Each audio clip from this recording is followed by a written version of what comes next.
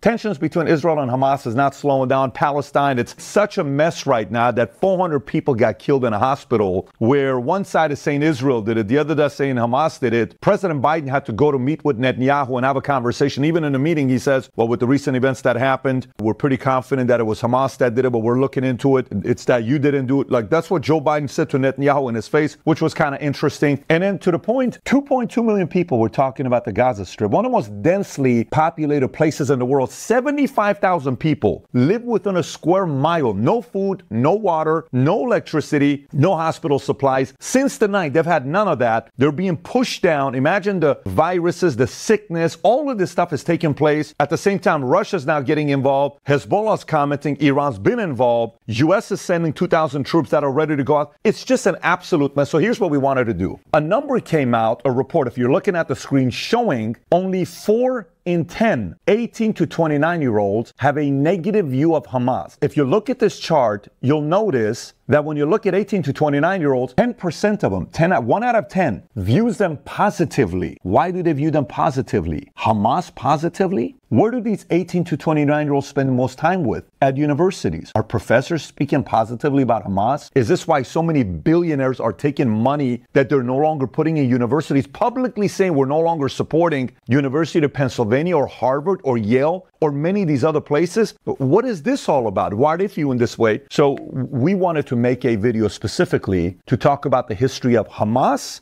Hezbollah and ISIS, a little bit of Al Qaeda, so you know how they got started, what their motives are, what their vision is, and are they a terrorist organization? Categorically, they are. Why are they a terrorist organization?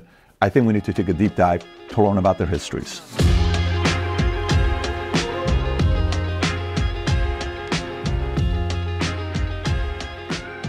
So if you get value out of this video, give it a thumbs up and subscribe to the channel. So let's get right into it. I want to start off by posing a question for you to be thinking about. When does a political party become a terrorist organization? When do freedom fighters, a lot of people are saying, I'm doing this for freedom. When do freedom fighters stop being heroes and become killers? Let's take a look at Hamas first. So what is Hamas? Hamas is a spin-off, the Palestinian branch of the Muslim Brotherhood. In the late 80s, the Islamist militant group Hamas took over the Gaza Strip after defeating its rival political party, Fatah in elections in 2006. Its rival party, Fatah, which dominates the Palestine Liberation Organization, PLO, and rules in the West Bank, has renounced violence. So, again, just to isolate these two here, Hamas pro violence, Fatah, were not violence. Okay, we have a different way of going about presenting our argument to others. Okay, so Hamas's founder was Sheikh Ahmed Yassin, a Palestinian cleric who became an activist in local branches of the Muslim Brotherhood after dedicating his early life to Islamic scholarship in Cairo. Yassin established Hamas as the Brotherhood's political arm in Gaza in December of 1987 following the outbreak of the first Intifada, a Palestinian uprising against Israeli occupation of the West Bank, Gaza, and East Jerusalem. At the time, Hamas's purpose was to counter Palestinian Islamic Jihad, PIJ, another organization whose commitment to violence resisting Israel threatened to draw Palestinian support away from the Brotherhood. In 1988, Hamas established and published its charter calling for the destruction of Israel and the establishment of an Islamic society in historic Palestine, and they called it, we're going to bring back Sharia law to here. So that is their vision. We talked about this in a previous video as well. To continue, in what observers called an attempt to moderate its image Hamas presented a new document in 2017 that accepted an interim Palestinian state along the Green Line border established before the Six Day War, but that still refused to recognize Israel. Hamas first employed suicide bombing in April of 1993, five months before PLO leader Yasser Arafat and Israeli Prime Minister Yitzhak Rabin signed the Oslo Accord. Then, finally, the U.S. in 1997 and the European Union designated Hamas a terrorist organization because of its armed resistance against Israel, which has included suicide bombing and rocket attacks. So this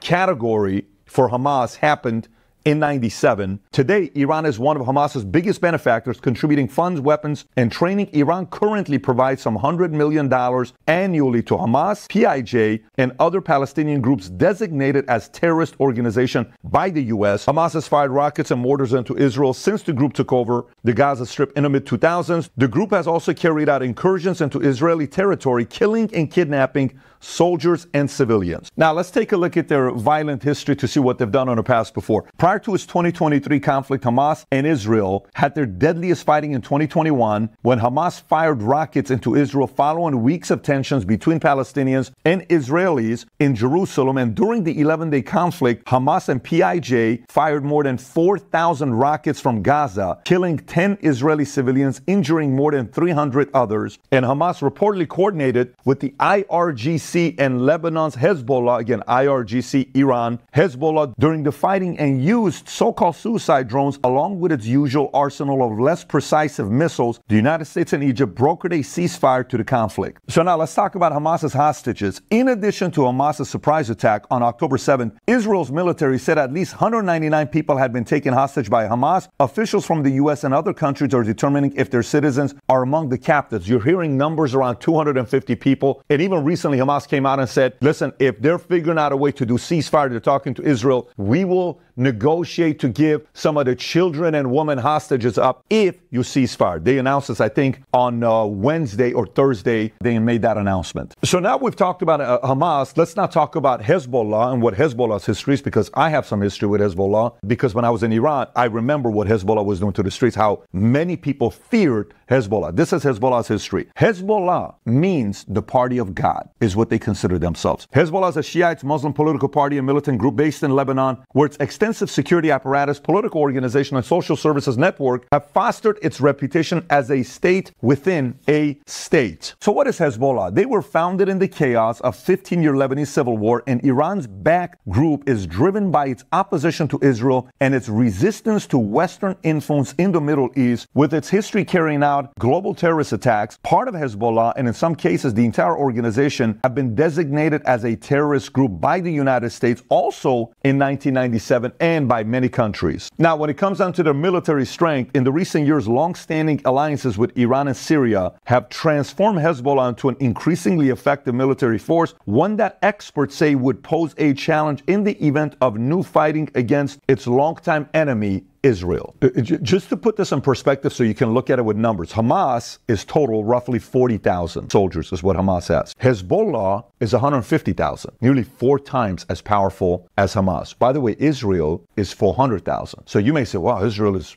massive. Not that much bigger than Hezbollah, if you think about it. 150 to 400, it is two and a half times, but it's not astronomically a bigger military organization. Hezbollah still has a lot of firepower behind their army that they have. Uh, let me continue with Lebanon's failing. At the same time, Hezbollah officials and other leaders in Lebanon are facing public discontent as the nation verges on failure and Hezbollah's political power could be shrinking. The history of Hezbollah's violence emerged during a Lebanon's 15 year civil War, which broke out in 1975 when long simmering discontent over the large armed Palestinian presence in the country reached a boiling point. They were a group of Shiites influenced by the theocratic government in Iran, the region's major Shiite government, which came to power in 1979. This is when I was born in 78. Khomeini comes in around late January, early uh, February, Hezbollah's take over Iran, and it's a complete different country, complete different revolution, complete different way of living when that took place. And obviously, when this happened in 1979, Hezbollah took arms against the Israeli occupation. So many times when you hear Hezbollah, you'll hear Iran. Iran's funding, Iran, IRGC. You'll keep hearing these phrases. What does that really mean? Seeing an opportunity to expand its influence in Arab states, Iran and its IRGC, which stands for Islamic Revolutionary Guard Corps, provided funds and training to the budding militia, which adopted the name Hezbollah, meaning the party of God.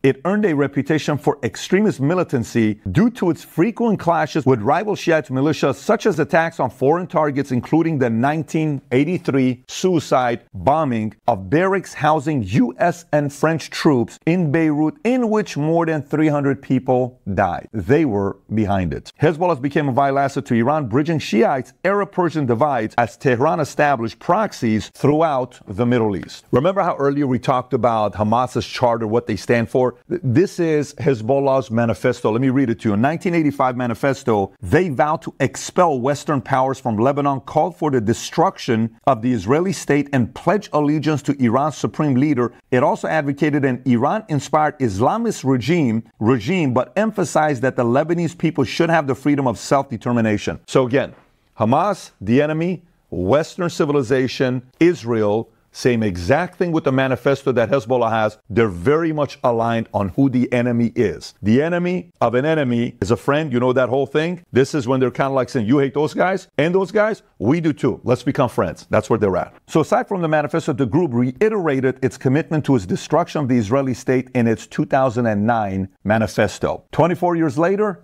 Manifesto, same thing. The enemy is still Israel. Hezbollah has been blamed for attacks on Jewish and Israeli targets abroad, including the 1994 car bombings of a Jewish community center in Argentina, which killed 85 people, and the bombings of the Israeli embassy in London. So, so you know, some people say, well, maybe if Israel, you know, withdraws and they leave, the tensions will go down. Even after Israel officially withdrew from southern Lebanon in 2000, it continued to clash with Hezbollah. That conflict didn't stop. Periodic conflict between Hezbollah and Israeli forces established in into a month long war in 2006, during which Hezbollah launched thousands of rockets into Israeli territory. And in August 2021, Hezbollah fired more than a dozen rockets in response to Israel's airstrikes in Lebanon. It was the first time the group claimed responsibility for rockets fired into Israel since 2006 Israel Hezbollah war. Analyst and Brigadier General retired Asaf Orion of the Israeli Institute for National Security Studies says Hezbollah possesses a larger arsenal of artillery than most nations enjoy. And a 2018 report from the Center for Strategic and International Studies called it the world's most heavily armed non state actor, Hezbollah. Meanwhile, critics say Hezbollah's existence violates UN Security Council Resolution 1559, adopted in 2004, which called for all Lebanese militias to disband and disarm. And in October of 2019, Hezbollah became a target of mass protests, government mismanagement, and years of slow growth had saddled Lebanon with one of the world's highest public public debt burdens at 150% of its gross domestic product. So obviously, a lot of people are sitting there saying, well, look, if, if Hamas is doing what they're doing, if Israel attacks a little too much, Hezbollah is going to get involved to back them up. And did we see a sign of that? That's exactly what happened. Following the October assault on Israel by Hamas, Hezbollah had fired shells across the Israel Lebanon border in a show of what the group's leaders call solidarity with Hamas. It's like a announcement. Hey, just so everybody knows, we have their back. Hamas. And several Hezbollah's militias reportedly attempted to infiltrate Israel. Iran and Hezbollah likely advised and trained Hamas on how to attack Israel. Experts say, though Hamas maintains that neither was involved in planning its 2023 operations. This has been written about all over the place. Wall Street Journal that Iran was involved in this attack that Hamas had on Israel. So, so far we've talked about Hamas and we've talked about Hezbollah. How about ISIS? And, and or how big are they today? Are they still as powerful as they were before? Let's talk about the history of ISIS. ISIS is a Salafi jihadist group that has conducted and inspired terrorist attacks worldwide, resulting in thousands killed or injured. In 2004, an Iraqi extremist network led by Abu Musab al Zarqawi merged with Al Qaeda to form ISIS's predecessor group called Al Qaeda in Iraq. So in 2013, Al Qaeda in Iraq changed its name to ISIS, and in 2014, the group separated from Al Qaeda, declared itself a caliphate, and took over vast swaths of territory in Iraq and Syria. So if you're asking the question, I, I don't know what a caliphate is. Here's the definition of caliphate. It's a political religious state comprising the Muslim community and the lands and peoples under its dominion in the centuries following the death of Prophet Muhammad. Now, in 2019, an international coalition ejected ISIS from its last stronghold in Syria, although the group continues to operate clandestinely there and in Iraq. Despite losing many of its leaders and its territory, ISIS remains capable of conducting insurgent operations in Iraq and Syria while overseeing at least 19 branches and networks in Africa, Asia, and Europe. And by the way, when you look at size, tier one terrorist organization, some would say is Hezbollah, 150,000 of them, right? Tier two is Hamas. Tier three when you look at ISIS, it's only roughly between 8 to 16,000, and their operating areas is primarily in northern and eastern Syria and northern Iraq. Now, ISIS tactics and targets ISIS uses targeted killings, IED attacks, ambushes, military style assaults, kidnapping, and suicide attacks in Iraq and Syria. The group also encourages adherents worldwide to conduct operations in their own countries, and ISIS mostly attacks military targets and civilian defense forces government personnel, infrastructure, in addition to foreign aid workers and civilians who ISIS perceives are working against it or are opposed to the interpretation of Islamic law. So if now you're wondering, you're saying, well, Hezbollah got a terrorist group designation. So did Hamas. Did ISIS ever get that? They did. In 2004, the U.S. State Department designated Al Qaeda, ISIS's predecessor, as a foreign terrorist organization in December of 2004, a designation that remains in effect for ISIS till today. So even though this is in 2004 and it still stands till today, you may be asking, well, when's the last time they even did an attack? Wasn't that like pre-Trump? Did we have anything that happened? Because during Trump, everybody forgot about ISIS. ISIS was very big during Obama. But I want to give you four of the different attacks they had recently. One of them is July 3rd of 2016, they attacked Baghdad, Iraq. They carried out a suicide car bombing that killed more than 200 people. January 16, 2019, in Syria, they conducted a suicide bombing outside of a restaurant, killing 15 people, including four Americans. July 19, 2021, Baghdad, Iraq, they conducted a suicide bombing in a crowded market on the eve of Eid al-Adha holiday, killing at least 35 people and injuring more than 60. And last but not least, January of last year, 2022, in Syria, ISIS attacks Ghawarian prison, leading to a week-long siege on the facility and surrounding neighborhoods, killing more than 100 prison guards and 400 ISIS detainees. So, so if you look at this chart, you'll notice a trend. Two of them are Iraq, two of them are Syria, three of them are suicide bombing. So again, going back to what their style is, suicide bombing, Iraq, Syria. Uh, uh, to, to finish up the topic here on ISIS and comparing Al Qaeda, I want to give you a little bit more context before we move on. Al Qaeda and its affiliate remain a threat to the U.S. homeland, while the Islamic State danger is more to the stability of the Middle East and U.S. interests overseas. Much of their rivalry between the two, Al Qaeda and ISIS, involves a competition for affiliates, with both trying to spread their model in Al Qaeda's case to ensure its operational relevance. For now, the Islamic State focus is primarily on Iraq and Syria and to a lesser degree on the states in the Muslim world, particularly in Libya. Now, in the United States and in Europe, it may inspire lone wolves, but it's not directing its resources to attack in these areas, and security services are prepared for the threat. Al Qaeda is weaker and less dynamic than the Islamic State, but the former remains more focused on attacking the United States and its Western allies. So they're not targeting Syria and Iraq, they're targeting U.S.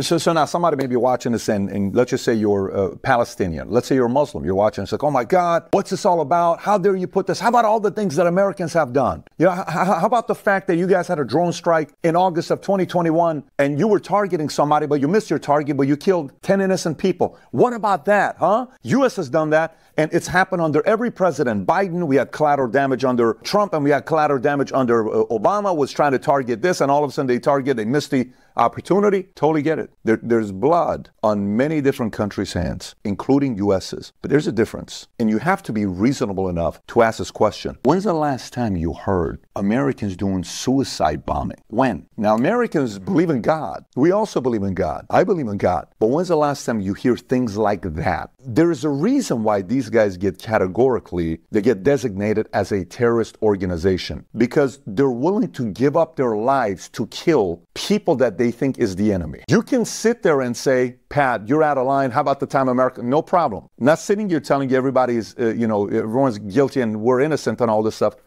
But you have to be able to reason and say, yeah, it's kind of a good point, man. They don't really have that reputation for doing that. Maybe folks from these three places do, but Americans do not. All right, so let's talk about update on Israel Palestine. The, the, last week here, I've been asking two questions. Number one, how did Israel not know that Hamas was going to attack and they're setting up a facility to learn how to come and get hostages? How does Israel not know? You brag about having the best intelligence in the world, Mossad, and you mean to tell me you missed this one? A little bit weird. Valid question.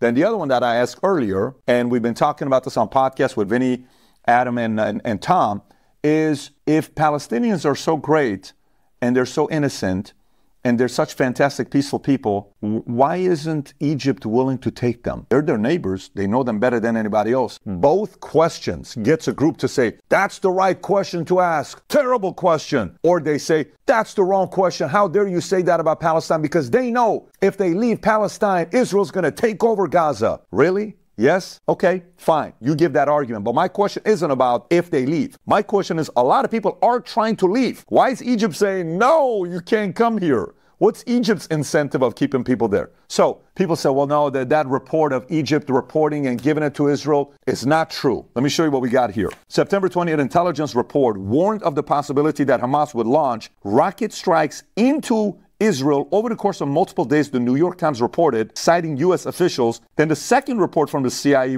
uh, dated October 5th, two days before Hamas carried out its attack, warned of an increased probability of violence from Hamas. This is twice. One September 28th, one October 5th, from CIA is Tom This is not like it's hypothetical New York Post article. Then, a source familiar with the intelligence told CNN the military friction in the Israel Gaza region is nothing out of the normal, while another official familiar with the reports described them to be times as routine. And meanwhile, Iran is sitting there saying, you know what, you guys crossed the line. We have to now intervene. And what does that really mean? Well, uh, the Hezbollah is going to get involved. They're going to get involved. They're, they got many different ways to get involved. And remember, tier three, ISIS, 8 to 16,000. Hamas, 40,000. Hezbollah, 100 and 50,000. What happens if they get involved? It's a whole different story if they choose to get involved. Now, I want to put this thought for you to be thinking about when it comes onto the hospital. With 400 people that got killed in the hospital, whose fault is it? Israel? Is it Hamas? When I was living in Iran, during the time when it's so funny, my dad's telling my wife today on what time I was born. I was born a little bit after midnight on October 18th. My mom's water broke. My dad's taking her to the hospital. There's curfew. They're past curfew. They get held up with semi-automatic weapons saying, what are you doing driving a car when the streets are empty? He says, my wife's water broke. She's pregnant. They escort me to the hospital. And then I'm born bit past midnight on the 18th. Watch the story. An event happens in Iran called Cinema Rex Fire. Cinema Rex Fire, cinema, cinema, Rex name fire. Cinema Rex was in a city called Abadan. Abadan is the where uh, a place where all these oil refineries are, okay? There's a police station right across the street from Cinema Rex. When this happens, Khomeini, Hezbollah, everybody said this is the work of Savak. They shut down the entire movie theater. 400 people couldn't leave the movie theater. They caught the place on fire. Pregnant women, kids died. Imagine you're burning, you can't get out because they locked up the place. It's called the Cinema Rex fire. Okay, I'm sure you've seen the story. They're posting the article all over the page while I'm talking to you. Hezbollah and Khomeini convinced Iranians that Reza Shah Pahlavi did it with the help of Savak. Savak was his Mossad. So our CIA, their Savak. They were trained by Mossad and CIA. Again, their intelligence group, right? You know what ends up happening to everybody in Iran? How dare this cold hearted billionaire king monarchy spend 25 quarter of a billion dollars putting the celebration of 2500 years of iran. This guy's so rich and we're so poor and you killed 400 innocent people? Boom. Escalated escalated escalated. Everybody said the king did it. Revolution millions of people in the streets. It was the biggest revolution ever that took place. Coup d'etat with none of the major four components that you need for a revolution. You know who won Khomeini won. The Shah had to get in a helicopter, escape, get in a plane, and leave. Do you know what happened a couple months later, a year later? Reports came back. That fire was never the Shah. It was somebody that was part of Khomeini's camp that did it. Guess what? It's too late. Revolution already happened. What's the moral of the story? I don't know if Israel's behind it or not, and I don't know if Hamas is behind it or not. All I know is whoever is behind it that did this intentionally there's a strategy behind it to put the blame on the other person to increase emotions, possibly yours and mine, and say, how dare they did something like that to get what they want. Whatever that they want is, we don't know yet. It may take us 6, 12, 18, 24 months to really find out who was behind it. But don't jump to conclusion taking one side or the other because it favors your argument. Sit back a little bit and let's really see what happens. I like what Joe Biden said today when he's sitting across uh, Netanyahu. He says, Our intelligence tells us Hamas was behind it, not you. Obviously, we'll find out. But our intelligence said Hamas is behind it. Look at the way he's giving the answers, leaving it out. But he's saying we have your back, but we're going to find out. That's the right approach to take because we still don't know who was really behind what happened with this hospital. So, so look, we're going to do a whole different video on World War III here soon on how many times we got close to and how to prevent it. Prevent it. That's going to come up here soon. But I want to give you a final thoughts to be thinking about. One of the biggest challenges you and I have as human beings because we're emotional beings. Robots don't have this challenge. You and I do. We have something called emotions. We have something called life experiences. We have something called beliefs, religion, who you believe in, what you believe in, political, all this stuff that we have, right? And our loyalty typically is to our parents, our heritage, our background. These guys can never do anything wrong. As a parent, I've been in the office where my kids were at fault, and I'm sitting there saying, "You paid a price. What is his, uh, you know, price? He's going to be suspended. Totally get it. You paid a price. Okay. Here's what we're going to do. We're going to have a conversation. And then if I think it's too much, I'll have the private conversation with the principal. But if I think it's right, it's right. And there's been times where I've been in a place where I've watched the punishments been way too much and I've said, I don't think I'm good with this punishment. Did you guys look at the tape? So we have to be fair. There's some parents are like, no, my kids are never wrong. He's an angel. And it's a lie because when I was a kid, there were many times I was wrong. Okay. And I know I was wrong as a kid, just like yourself. What's the moral of the story? Let's do our best to not join the jump to conclusion community just because it validates your argument or my argument. We're all guilty every once in a while. Not sitting here telling you I'm an angel or you're an angel. All I'm saying, during times like this where emotions goes from zero to let's, you know, go to war and do this, let's kind of pump the brakes and let's not jump to conclusion. The only suggestion I got for everybody, the goal is to prevent people from dying. That's the goal. The goal is for people to live their lives and the goal is to hold people accountable who are doing things that is not appropriate and they're taking people's lives. But before we jump to conclusion, let's see who's behind it. Let's do some research. And then once we know, and if you're right, salute to you. If you're wrong, hey, I was wrong. Totally okay. I'm okay being wrong and I'm okay being right. I'm more interested in finding out the truth, not being right or wrong. That's my job. Anyways, hopefully that gives you a little bit of insight. Having said that, we did a video as a Middle Eastern myself. I wanted to find out who were the angriest people in the world. And I don't know if you've ever seen the study or not. As an Armenian, we were ranked third. I'm like, wow, now that's all starting to make sense. And as an Assyrian Armenian from Iran, when you see the ranking, you'll see why. But it tells you a little bit about the history, why certain regions are angrier than others. If you've not seen this clip, click here to watch it. Take care, everybody. Bye bye, bye bye.